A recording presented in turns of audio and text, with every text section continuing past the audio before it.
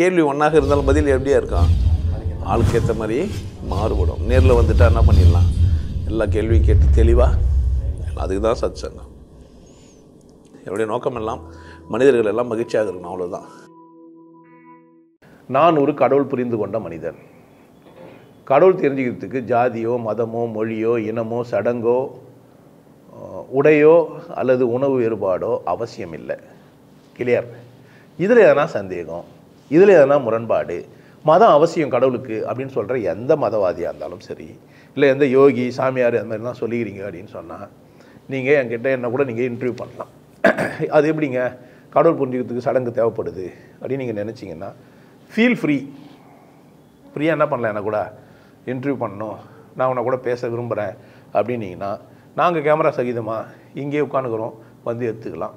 ஆனால் சில பேருக்கெல்லாம் நாங்கள் பேமெண்ட்டே கொடுக்க தயாராகிறோம். சில பேர்லாம் நீங்கள் இன்டர்வியூ கொடுத்தீங்கன்னா காசு கொடுப்போம். உதாரணத்துக்கு இப்போ ஜக்கி வாசுதேவ் இருக்கிறாரு அவர் வந்து ஈசா மையன் ஒன்று ஆரம்பித்து பண்ணின்னு இருக்கிறாரு.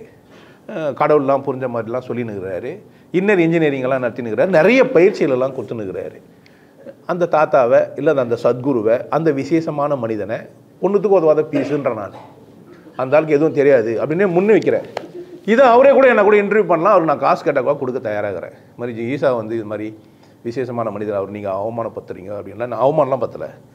அவர் சரியான மனிதனே கிடையாது. புரிதல் உள்ள ஒரு மனிதன் கிடையாது. அவருக்கு கடவுள் தெரியாது.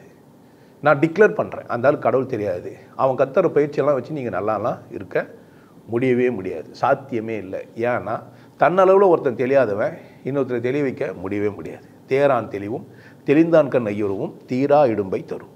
உங்களுக்கு காலத்துக்கும் அது ஒரு பிரச்சனை தான் புரியுதுங்களா? இதை ஈசாவே ஒத்துக்கலை அப்படின்னா எனக்கு கூட என்ன பண்ணலாம்? இன்டர்வியூவே பண்ணலாம்.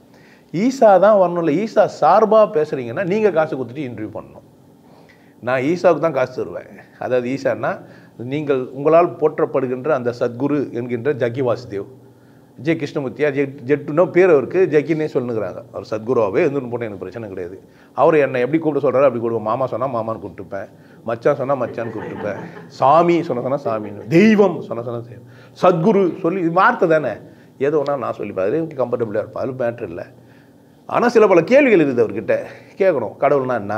அது எப்படி இருக்குது? நீ எப்படி உணர்ந்த? யோக சாதனை என்ன என்ன இன்னும் இன்ஜினியரிங் கூட என்ன நடக்குது? இந்த மாதிரி கேள்விகள்லாம் நிறைய பேர் இன்டர்வியூலாம் என்னவோ அவர் எதனா காசு கேட்டாக்கா நான் கொடுக்க தயாராக இருக்கிறேன். அவர் என்கிட்ட பேட்டி எடுக்கலாம். நித்யானந்தான் காணோம். போயிட்டுக்கிறாரு. ஆமாம் அவரே எங்கேக்கிறாருன்னு தெரியல. அப்பப்போ தோன்றி தோன்றி மஞ்சுனுக்கிறாரு. அவர் ஆனவனா சமாதியில் இருப்பார். அது நம்ம அவரை வந்து பாவம். சின்ன பிள்ளை அது. என்னை பொறுத்த வரைக்கும் அது குழந்த. ஆமாம் மீனாட்சி மீனாட்சி இன்னைக்குதுன்னா பால் குடிக்க தானே கூப்பிட்டுருக்க முடியும். நான் திருஞான சம்பந்தன். நான் ஒரு திருஞான சம்பந்தன். புரிஞ்சு வச்சுங்க மீனாட்சி கிட்ட பால் குடித்த மனிதன் நானே. மீனாட்சி கிட்ட பால் குடித்த ஒரு மனிதன். அதுக்கப்புறம் மீனாட்சியிட்ட பால் குடிக்குதுன்னு வந்து கேளு. மீனாட்சினா முதல்ல எதுன்னு சொல்கிறேன் ஆல்மா எப்படி பால் குடிக்குதுன்றதெல்லாம் சொல்கிறேன் அதெல்லாம் ரகசியம். வெளியே சொல்ல மாட்டேன். ஏன்? பால் குடிக்குதெல்லாம் எனக்கும்? அந்த மாதிரி ஆள். மற்றபடி கடவுளுக்கு இந்த சைவம் சாப்பிட்டா தான் ஜாதியில் பிறந்தா தான் எப்படி இருந்தால் தான் அண்ணா சவால்லாம் இல்லைங்க.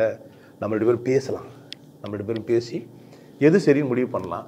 இந்த மரமண்டைக்கு இல்லை இந்த இந்த முட்டாளுக்கு கூட நீங்கள் என்ன பண்ணலாம்? புரிய வைக்கிறதுக்கு. வந்து என்ன பண்ணலாம்? இன்டர்வியூலாம் எடுக்கலாம். வந்து எடுத்து நீங்கள் என்ன பண்ணலாம்? நாங்களும் எடுத்துப்போம். சேனலில் மக்களை தெளிவாக வச்சுக்கலாம். ஏன் குழப்புறது? பாவம் இந்த மக்கள் குழம்புறாங்க. இங்கே எங்கேயுமே அலையிறாங்க. சைவம் சரியா அசைவம் சரியா இது சரியா இது சரியானுங்கிறாங்க அவனுக்கு எது சரியோ அதை அதை செஞ்சுக்கிற உரிமை அவனுக்கு உண்டு. தப்பு கிடையாது. எனக்கு சைவம் பிடிக்குது சாப்பிட்டுக்கலாம். தப்பு கிடையாது. எனக்கு அசைவம் பிடிக்குது சாப்பிட்டுக்கலாம். தப்பு கிடையாது. இதுக்கும் கடவுளுக்கும் சம்மந்தமே கிடையாது. அதை மட்டும் புரிஞ்சு வச்சுங்க. நான் சொல்கிறது சைவம் சாப்பிட்டு அசைவம் சொல்லலாம் கடவுளுக்கும் இந்த உணவுக்கும் சம்மந்தம் கிடையாது. சாப்பிட்டு ஆய்ப்புற விஷயம்லாம் கடவுளுக்கு ஆவறது இல்லைங்க. அது விஷயம். இல்லை. அதனால் கடவுள் தேவை அப்படின்றவங்க கடவுளை புரிஞ்சுக்க முடியாதவங்க நேராக வந்துடலாம். கடவுள் இது மாதிரி புரிஞ்சு வச்சுக்கிறவங்க சட்டத்திட்டங்கள் ஒழுக்கங்களெல்லாம் இருந்தால் தான் கடவுளை அனுபவிக்க முடியுன்ற ஒரு கோட்பாடு வச்சுக்கிறவங்க குழப்ப மனநிலை இருந்தீங்கன்னா என்னை கூட இன்டர்வியூ எடுத்து என்ன பண்ணலாம் நீங்கள் நீங்களே போட்டுக்கலாம். ஆனால் எனக்கு வந்து ஈசா மையம் இருக்குது இல்லை. அதில் நிறைய முரண்பாடு இருக்குது. எனக்கு இன்டர்வியூ கொடுத்தா புண்ணியமாக போயிடும் நிறைய பேருக்கு புரிய வச்சிடலாம். இதை வந்து பாண்டே செய்வாருன்னா கூட சந்தோஷம்தான். பாண்டே ஒரு பயங்கரமான ஆள். சாணிக்கியாவை வச்சுன்னுக்கிறாரு குடியும் போட்டுக்கின்னு. சாணிக்கியாக ஒரு ஜாதி வெறி பிடிச்சவன்றது அவர் வரலாறு பச்சாரா இல்லைன்னு தெரியல. நான் வீடியோவும் போட்டு வச்சுக்கிறேன். பாண்டே கூட என்ன பண்ணலாம் என்ன? கூப்பிடலாம். கூப்பிட மாட்டாருன்னு நான் நினைக்கிறேன். கூப்பிட்டா தைரியசாலி தான் ஆனால் ஒரு ட்வீட் போட்டுக்கிறாரு.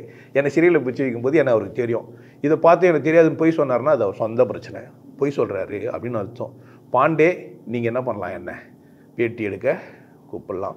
நீங்களே கூட இங்கே வந்து பேட்டி எடுக்கலாம். இல்லை என்ன அவன் உன்ன மாதிரி அற்பப்பதெல்லாம் நாங்கள் எடுக்க மாட்டோம்னா வச்சுக்கலாம். உங்கள் புனிதத்தை நீங்கள் என்ன பண்ணலாம்? பத்திரமா பூட்டி வச்சுக்கலாம். நாங்கள் கேவலப்படுத்துவோம். இதுக்கப்புறமா இதுக்கப்புறமா நீங்கள் கூப்பிடல அப்படின்னா அது உங்கள் பிரச்சனை.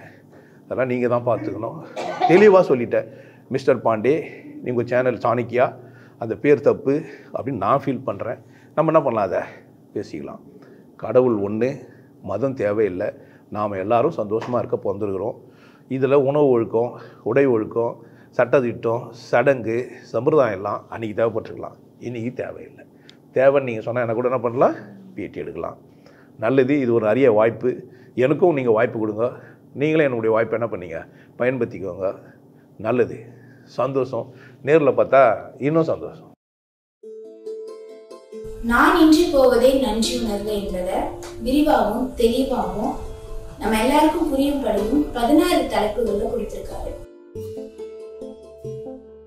என் பிரச்சனைகள் இவை அப்படின்னு சொல்லி நீங்க ஒரு பட்டியல் போட்டுட்டு இந்த புக்கை படிக்க தொடங்குனீங்கன்னா இந்த புத்தகத்தை படிச்சு முடிக்கும் போது உங்க பிரச்சனைக்கான தீர்வும் தெளிவான சிந்தனையும் உங்களுக்கு கிடைக்கும். இந்த புற அடையாளங்களை வச்சு நம்மளை நம்மளே பத்தி தெரிஞ்சுக்க முடியுமா அப்படின்னா கிடையாது. அதுக்கு ஒரு சரியான வழிகாட்டுதல் தேவை. அப்படி ஒரு வழிகாட்டும் புத்தகம் தான் நீதான் கடவுள். நம்ம சிவயோகி ஐயா எழுதின புத்தகம். இதோட இன்னொரு சிறப்பு பாத்தீங்கன்னா சிவயோகி ஐயா இதுல தன்னோட கருத்துக்களை புகுத்தாம திருவள்ளுவர் கூற வந்ததையும் திருக்குறளோட தன்மையையும் அதோட ஆழத்தையும் நமக்கு முழுமையா கொடுத்திருக்காரு. தமிழ் உணர்வுள்ள மனிதர்களால் உருவான மொழி.